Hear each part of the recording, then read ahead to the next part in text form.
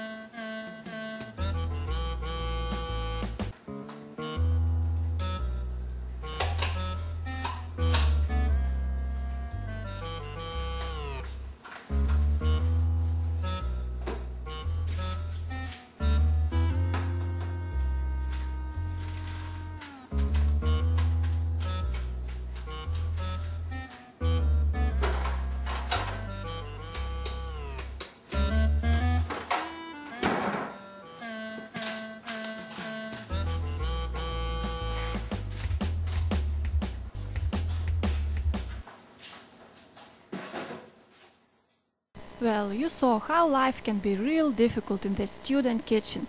Can you suggest the ways to make it better?